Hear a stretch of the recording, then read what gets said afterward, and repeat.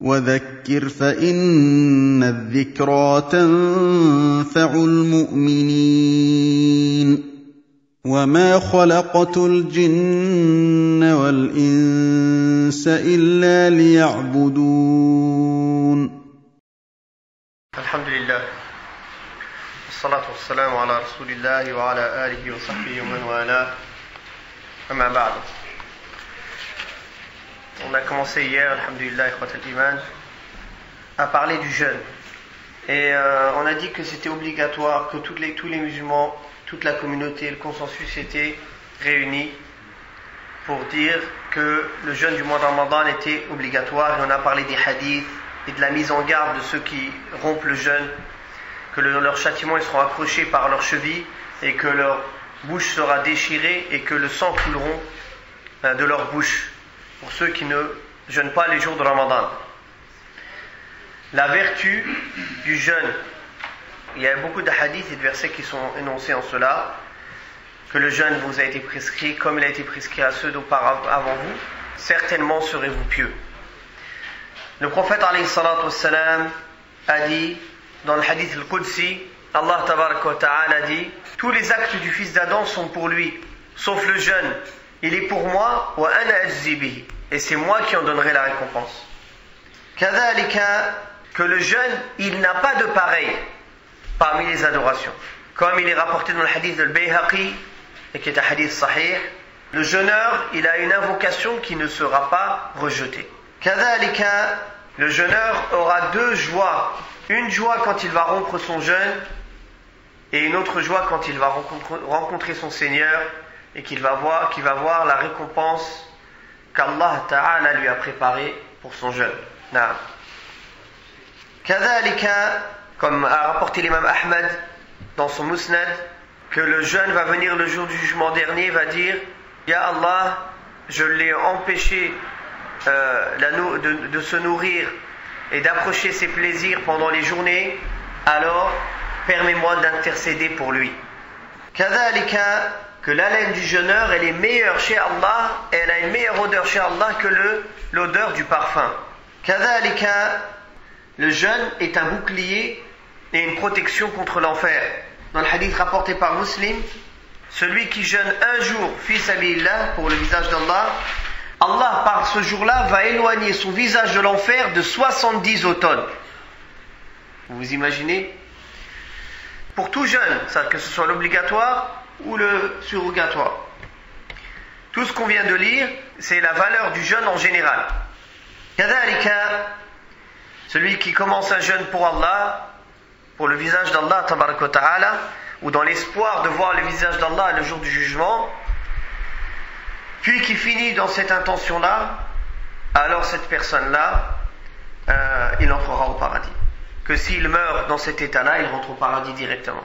Non il y a une porte au paradis qui s'appelle Rayyan, elle est faite pour les jeûneurs. Quand les jeûneurs vont y entrer, euh, elle va être fermée et personne ne pourra entrer par cette porte Et en ce qui concerne le mois de Ramadan, il y a un hadith où le prophète sallallahu alayhi wa parle de la valeur de Ramadan en disant quand le mois de Ramadan entre, les portes du paradis sont ouvertes, les portes de l'enfer se ferment et les shayatines sont attachés. Dans un autre hadith, il vient taqyid les chefs des shayatines, les grands, sont attachés. Mais les petits sont encore un petit peu et ils, se, ils sont là. Malheureusement, les gens, les petits, ça leur suffit pour faire le haram. C'est pour ça que tu les vois et continuent. Voilà qu'ils les gens pieux, les gens pieux qui d'habitude c'est les grands shayatines qui s'occupent d'eux, ils sont tranquilles pendant ce mois-ci parce qu'ils sont attachés. Euh, beaucoup de gens croient que ça veut dire si quelqu'un meurt pendant Ramadan, il va au paradis là. Quand le prophète sallallahu alayhi wa sallam dit les portes du paradis sont ouvertes, c'est-à-dire pour motiver les gens à faire du bien. Les portes de l'enfer sont fermées pour euh, décourager les gens à faire du mal pendant ce mois-ci et pour encourager les gens vers le bien parce que les gens pendant ce mois-ci font beaucoup de bien. Donc les portes du paradis s'ouvrent pour motiver les gens du bien à faire le bien. Parmi les bienfaits de Ramadan, le prophète sallallahu alayhi a dit que celui qui jeûne le mois de Ramadan, c'est comme s'il avait jeûné dix mois. Allah lui compte comme le jeûne de dix mois. C'est pour ça que quand il finit avec les six jours de Shawwal, c'est comme s'il avait fait une année entière. Il faut savoir aussi, celui qui jeûne le mois de Ramadan avec foi et conviction à Allah et en attendant la récompense d'Allah, Allah lui pardonnera ses péchés passés. Il faut savoir aussi que chaque nuit de Ramadan, Allah wa ta'ala, comme il est rapporté dans le hadith sahih rapporté par l'imam Ahmed, affranchit des gens de l'enfer. C'est-à-dire des gens qui étaient destinés à l'enfer, Allah les sauve de l'enfer, il les affranchit de l'enfer. Il n'y a qu'Allah qui connaît combien est le nombre de ces gens-là. Tous les hadiths qui sont rapportés pour dire le nombre des gens qui sont affranchis sont des hadiths da'if. Ce ne sont pas des hadiths qui, euh, qui sont véridiques. Donc tous ceux qui disent il y a 1000 ou 100 000 ou 10 000, etc., ou le soir de l'Eid, tant de milliers, tout ça ce ne sont pas des hadiths sahih. Ce que l'on sait, c'est qu'Allah a franchi un nombre que lui seul connaît. Chaque nuit du Ramadan, chaque nuit qui tombe, il a franchi des gens de l'enfer. On va finir avec ce hadith qui est vraiment, subhanallah, ce hadith, il est simple dans ses actes en vérité quand on voit, mais sa récompense elle est grande. Ce hadith qu'un homme est venu voir le prophète sallallahu alayhi wa sallam et dit Ô messager d'Allah, vois-tu si je témoigne qu'il n'y ait nulle divinité digne d'adoration si ce n'est Allah? Et que Mohammed est le messager d'Allah et que j'accomplis les cinq prières et que je m'acquitte de l'aumône légale, zakat, et que je jeûne le mois de Ramadan en célébrant ces nuits en prière, c'est-à-dire en priant la nuit. Dès lors, de quel groupe ferai-je partie? Il lui a dit, tu feras partie des véridiques et des martyrs. Subhanallah, iman. Le prophète sallallahu dit, tu feras partie des martyrs et des véridiques, les plus hauts degrés du paradis. Combien cette religion elle est facile et combien elle est, euh, elle est belle que euh, le fait de se, tenir à ces cinq piliers et de le faire exactement comme il faut, c'est une cause pour faire partie des véridiques et des martyrs. Ça ne veut pas dire par là qu'on va délaisser les autres obligations de l'islam, ou bien qu'on peut se permettre de faire le haram à part cela, et on fera partie des véridiques et des martyrs. Là, abadan. Ça veut dire qu'une personne qui fait ces actes-là comme il faut, automatiquement elle va tenir les autres obligations, elle va s'éloigner des autres interdits. Quelqu'un qui fait comme il faut ces cinq piliers, comme il faut. La vraie prière.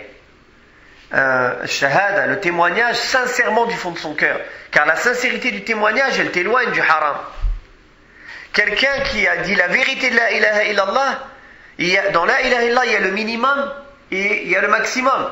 Quand quelqu'un a la vérité de la foi dans le cœur, ça l'empêche de faire les grands péchés. Ça l'empêche aussi d'être constant dans les petits péchés. Quelqu'un qui fait la prière comme il faut, comme le prophète, comme Allah Ta'ala dit, Inna salata tanha anil fahsha'i wal munkar.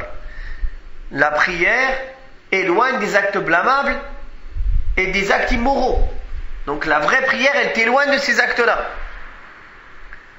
De même le jeûne. Si tu fais le jeûne comme il faut, tu vas avoir gagné, tu gagnes quoi à la fin du jeûne? La'allakum tattaqun, tu seras parmi les muttaqin, les gens pieux. Donc les muttaqin, c'est ceux qui ont les plus hauts degrés au paradis. Et then, ces cinq piliers-là, si on leur donne leur importance et on les pratique comme il faut, iman, et on s'y prépare, on fait des prières surrogatoires, des jeûnes surrogatoires, des actes en plus pour les renforcer, ils vont être la cause, inshallah, qu'on soit yom al-qiyamah parmi les martyrs et les véridiques. اللهم اجعلنا منهم برحمتك يا ارحم الراحمين وصلى الله على محمد وعلى اله وصحبه وسلم والحمد لله رب العالمين وقل رب زدني علما